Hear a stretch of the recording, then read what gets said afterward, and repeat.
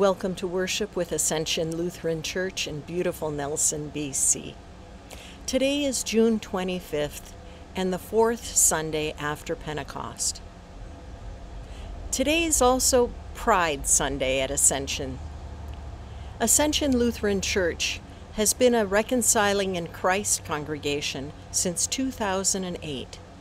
What that means is we have intentionally recognized our need to welcome all of God's children, whether they are LGBTQ, whether they are people of color, people who are different because of other reasons in their lives. We have an intentional welcome statement that I'm going to read to you now. We welcome all who are seeking God's love and grace. We welcome all because God welcomes all, regardless of race or culture, sexual or orientation, gender identity, or relationship status. Our unity is in Christ. So today, our service, we will celebrate our LGBTQ plus siblings. And we also acknowledge that the struggle for justice, rights, and equity for all is an ongoing struggle. And we, as allies, need to participate in this. We are called to stand up and support others who are oppressed or whose rights are being taken away or reduced. Our service today will also have hymns, special music, lessons, prayers, and a sermon. Some of us will worship through this video, and others will worship in our church building. But no matter where we are, we are together in this in spirit and we're really glad that you are here.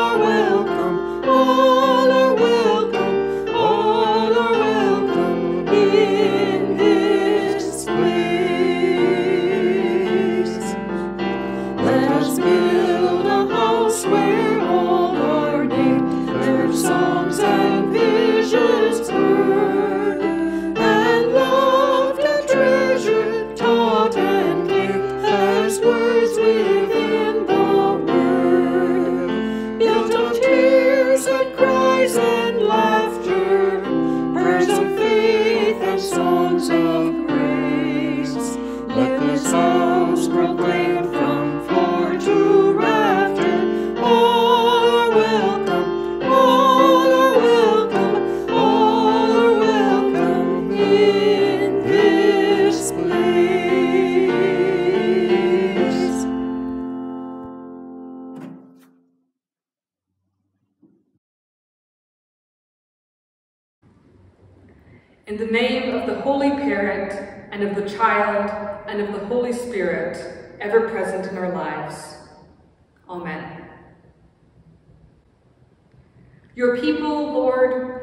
To feel seen, named, and cared for.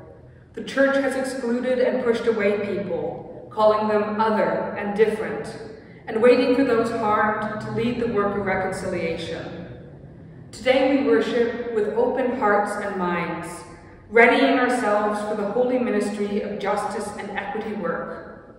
As your people, we know God is with us, and that your Holy Spirit makes reconciliation possible. As we learn how to make the church a safer space, we trust in the Spirit's guidance. As we seek to be an advocate for our LGBTQIA2S plus siblings and all marginalized people who are told that they are other, we trust in the Spirit's guidance. As we seek to learn more about the intersectionality of ministry, we trust in the Spirit's guidance. It is with the guidance of the Holy Spirit and grace of Jesus we confess and ask forgiveness.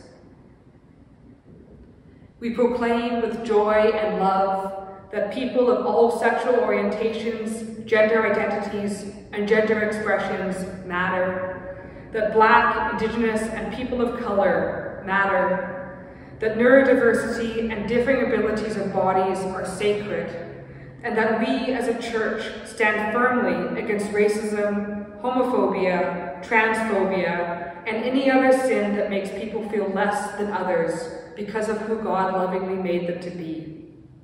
We commit our words and action to be ones of advocacy for all people in your kingdom. Holy Creator, we celebrate your boundless diversity and see the ways that we are made in your image. Amen.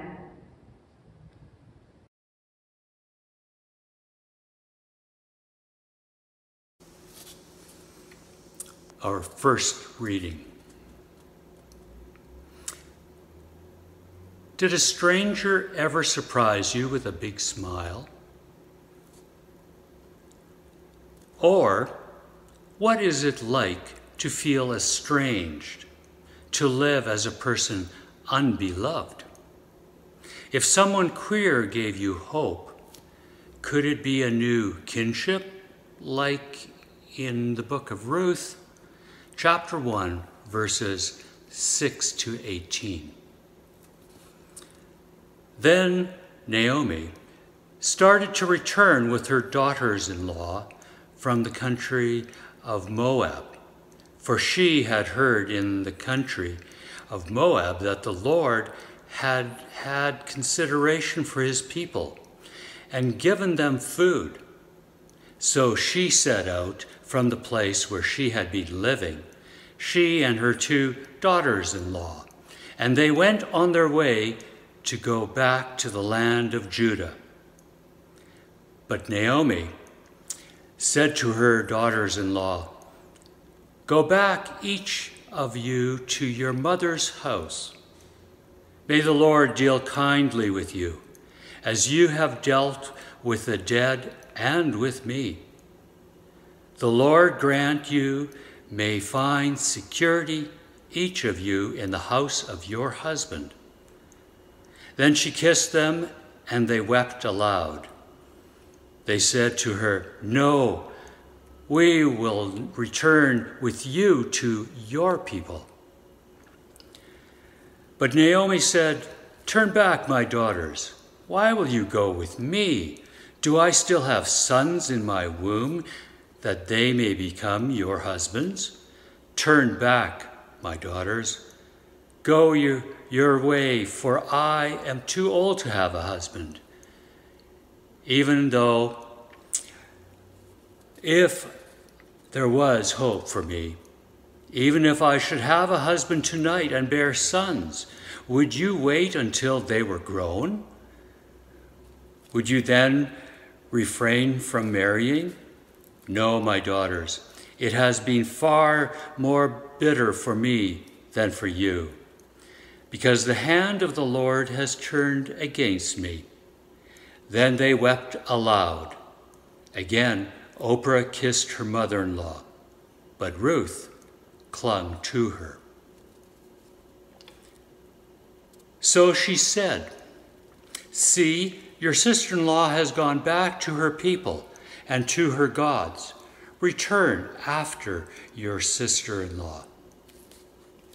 But Ruth said, Do not press me to leave you or turn back from following you. Where you go, I will go. Where you lodge, I will lodge. Your people shall be my people, and your God my God. Where you die, I will die. There I will be buried. May the Lord do thus so to me, and more as well, if even death parts me from you. When Naomi saw that she was determined to go with her, she said no more.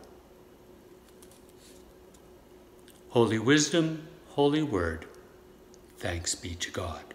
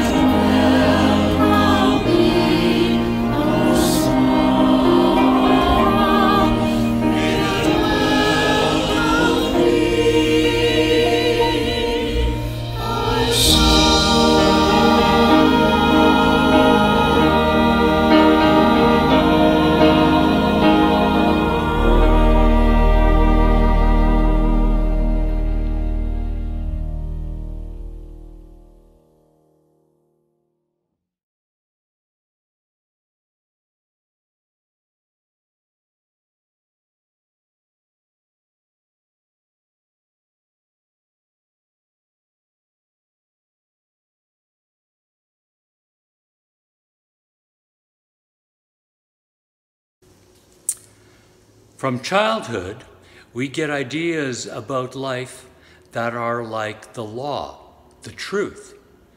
But those ideas may have mistaken ends too. As church people, we need continual renewal. As St. Paul says in 1 Corinthians chapter 12, verse 12 to 26. For just as the body is one and has many members, and all the members of the body, though many, are one body, so it is with Christ. For in one Spirit we were all baptized into one body Jews or Greeks, slaves or free, and we were all made to drink of one Spirit. Indeed, the body does not consist of one member, but many. If the foot were to say, Because I am not a hand, I do not belong to the body, that would not make it any less a part of the body. And if the ear were to say, Because I am not an eye, I do not belong to the body, that would not make it any less a part of the body. If the whole body were an eye, where would the hearing be? If the whole body were hearing, where would the sense of smell be? But as it is, God arranged the members of the body, each one of them as he chose. If all were a single member, where would, where would the body be? As it is, there are many members, yet one body. The eye cannot say to the hand, I have no need of you, nor again the head to the feet, I have no need of you. On the contrary, the members of the body that seem to be weaker are indispensable, and those members of the body that we think less honorable, we clothe with greater honor. And our less respectable members are treated with greater respect, whereas our more respectable, respectable members do not need this. But God has so arranged the body, giving the greater honor to the inferior member, that there may be no dissension within the body. But the members may have the same care for one another. If one member suffers, all suffer together with it. If one member is honored, all rejoice together with it. May the church hear what the Spirit is saying. Amen.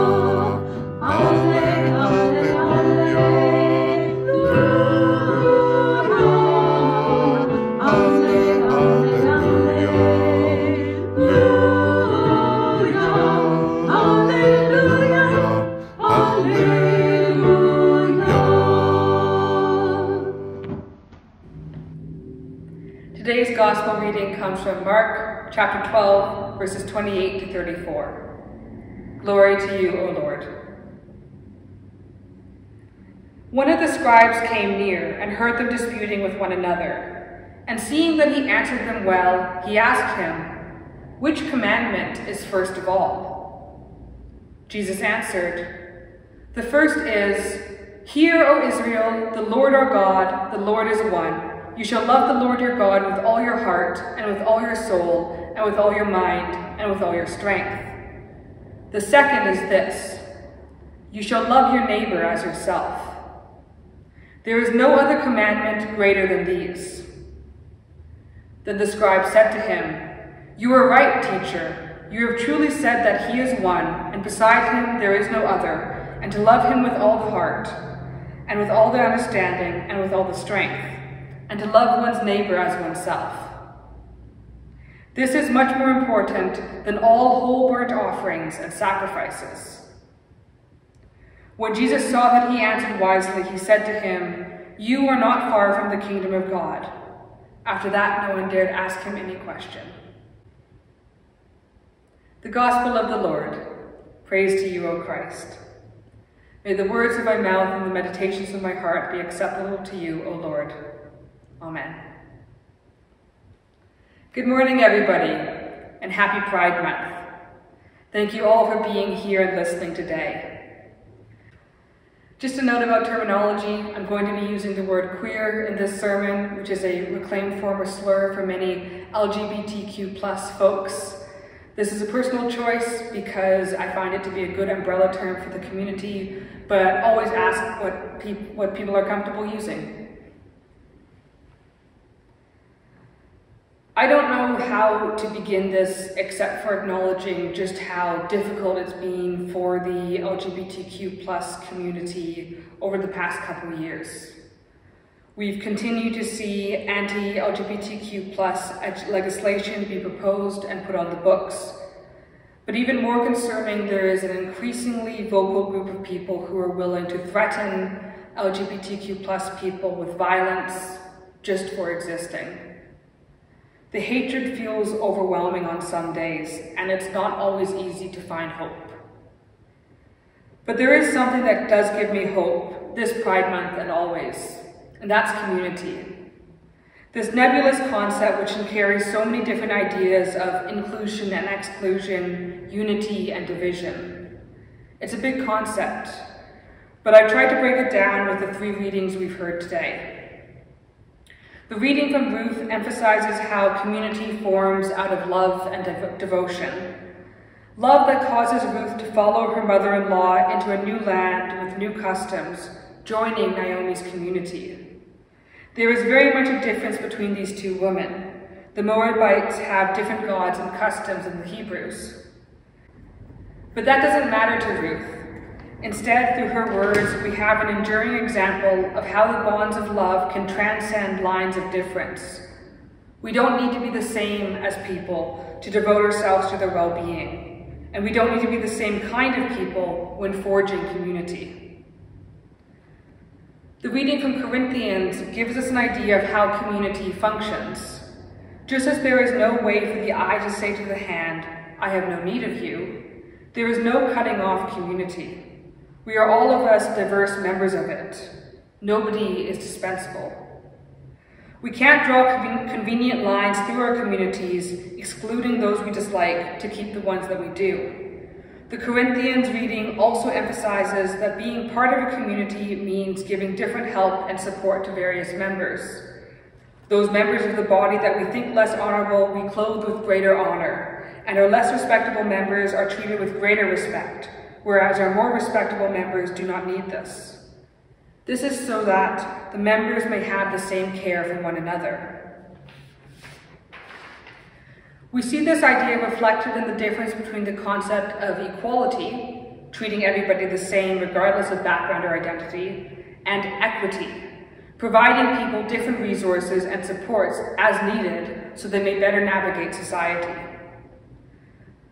Finally, we have the reading from Mark, talking about the first commandment you shall love your neighbor as yourself. There is no commandment greater than this. If you take one thing away from the Bible, from Jesus' teachings, let it be this. Loving your neighbor as yourself is explored in several places in the Bible. We get an enduring example of what it means in the parable of the Good Samaritan, when Jesus responds to the question, Who is my neighbor? The ideas of neighbors and community are intrinsically linked. We can think of our local communities as composed of our physical neighbors, people living in the same geographic area as us. But just as the Samaritan and the man he helped were not neighbors by proximity, or even members of the same cultural community, we can't base either concept of neighbors or community just on the people who live close to us. So where does our community extend to? Beyond Ascension, beyond Nelson, the Kootenays, the province of BC, Canada, North America, the whole world. Because there are no limits mentioned in the Bible about who our neighbors can be, we have to assume it's everybody. which means being aware of who gets excluded from traditional ideas of community. This includes being not just aware of LGBTQ plus discrimination, but also the exclusion of people who are unhoused, who are using substances, who are dealing with mental illness, and who are discriminated against because of race, ethnicity, or ability. So now that we've explored these biblical ideas about community, why is this important for Pride Month and LGBTQ plus people? Because Pride is not just about celebrating people who are living life authentically, though that is important. Pride is publicity. It's a message broadcast through rainbows and glitter to everybody in the closet saying that you're beautiful and that you deserve to have a community where you don't have to live in shame. One Facebook quote that I've seen making the rounds over the past couple weeks stuck in my mind. Pride is important because someone out there believes that they're better off dead than being themselves. Queer youth who face bullying and feel isolated from support have a high risk of suicide. But it's not just the younger generation that needs community. LGBTQ plus adults can face employment discrimination or lack of proper treatment in the medical field, which can result in shorter lifespans. And how many queer elders would be alive today, guiding our communities, if not for the devastation of the AIDS pandemic that went ignored and unaddressed by governments and society for far too long. But it's not all bad news. The thing about humans is that we're resilient, and we create resilient communities. One example that comes to mind is Have a Gay Day, a Facebook page that I've been following for many years. They were founded in 2012 in memory and honor of Jamey Rodemeyer, a 14-year-old who took his life in 2011 after severe bullying and harassment.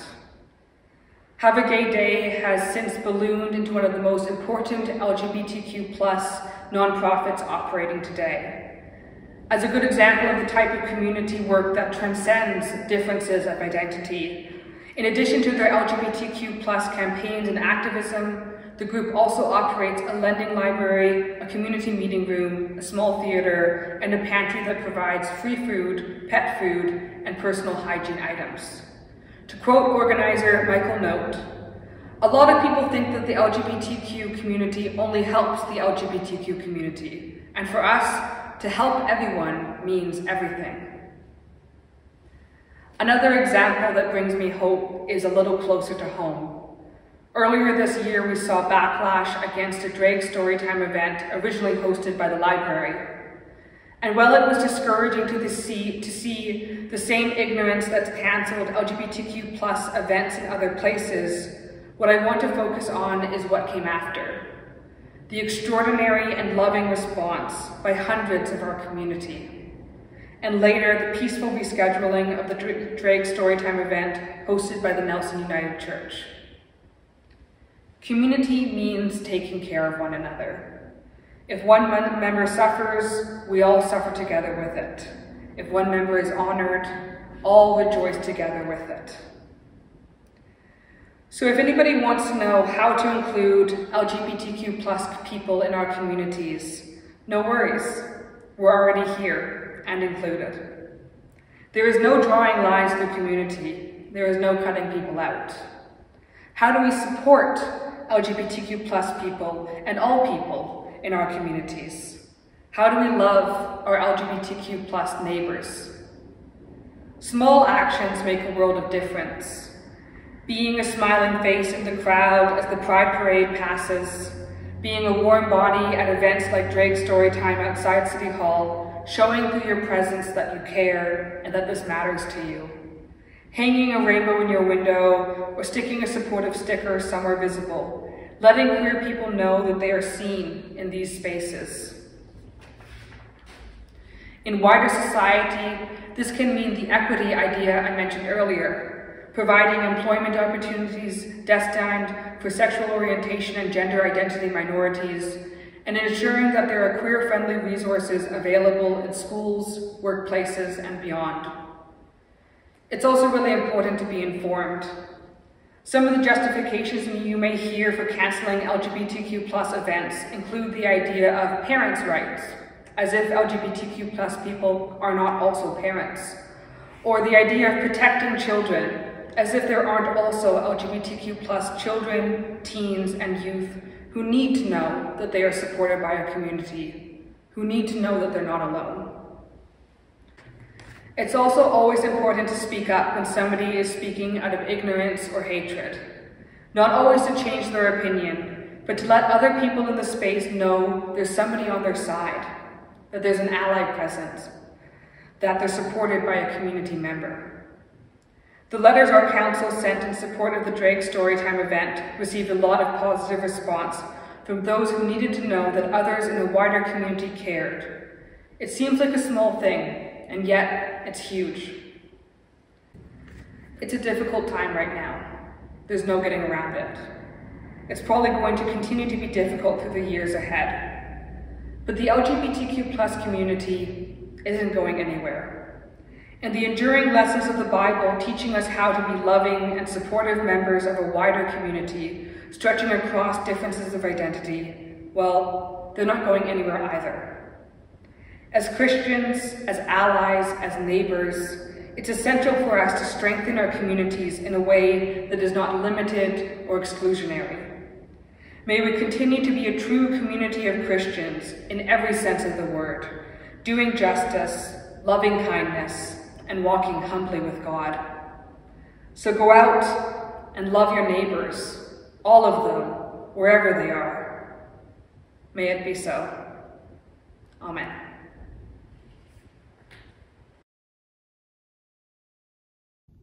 Traditionally, the Apostles' Creed or sometimes the Nicene Creed are used as a statement of our faith during worship.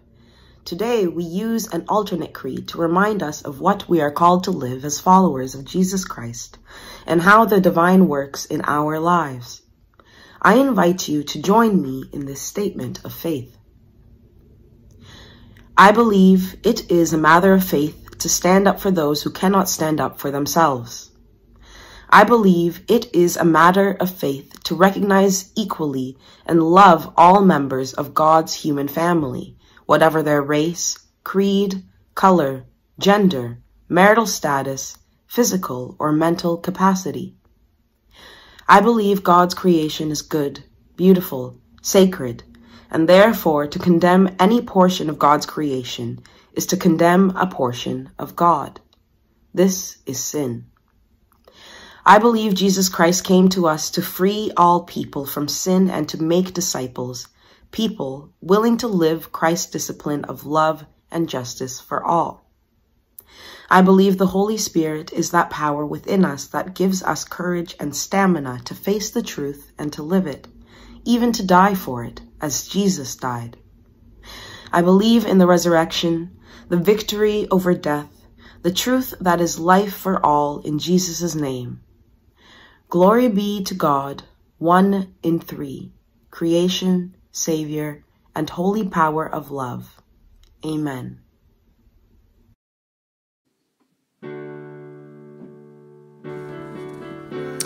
Trusting in God's extraordinary love, let us come near to the Holy One in prayer with these words Merciful God, you are invited to respond, Send wholeness to all.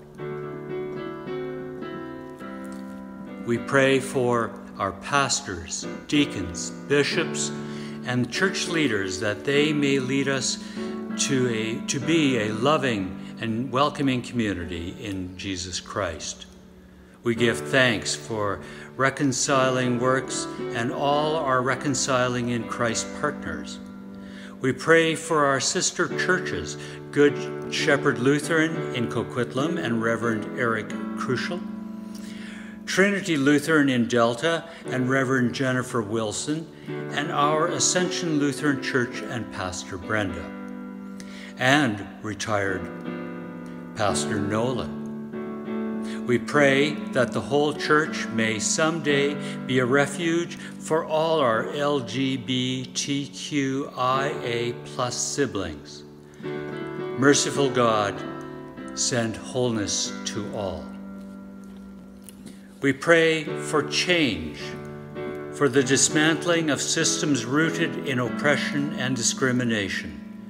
Make us bold in our proclamation that the lives, loves, and gifts of lesbian, gay, bisex- bisexual, transgender, queer, intersex, asexual, aromantic, black, brown, indigenous, incarcerated, disabled, and migrant people matter to you, and so they matter to all of us manifest in both word and deed. Teach us to see and celebrate the stunning beauty in all you have made. Merciful God, send wholeness to all. We pray for the sustainability of our earthly home. Guide us to care for creation, be mindful of waste, carbon emissions, and the impact of these sins on poor and marginalized communities. We pray that governments enact laws that protect and defend the poor, marginalized, and persecuted. We pray that your hand of justice intercedes for us. Merciful God, send wholeness to all. We pray for those who have chaos swirling with them. We pray for those that have been told they are less than, wrong, or an outcast for who they are. We pray that all of us find our true peace and wholeness of ourselves in you. We pray for those that are victims of violence at the hands of homophobia, transphobia, racism, and ableism. We pray for your mercy, love, and healing care for them. Merciful God, send wholeness to all. Be with us as we live our mission as a community of Christians empowered by the grace of God through word and sacrament to do justice, to love kindness, and to walk humbly with God. Receive our prayers for our children, merciful God, and hold us forever in your steadfast love through Jesus Christ, our holy wisdom. Amen.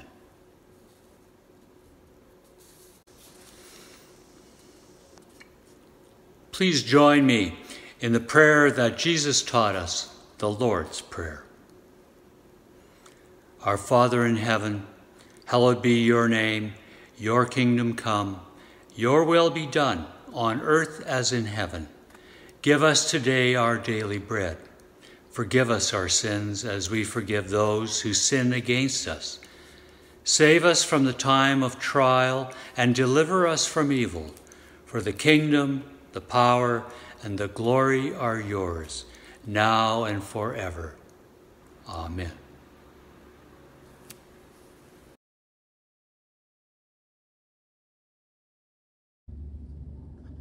May God, our Creator, Redeemer, and Sustainer, who calls across the cosmos and speaks in the smallest seed, bless, keep, and sustain you, now and to the end of the age.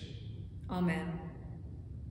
Go in peace, love your neighbor. Thanks be to God.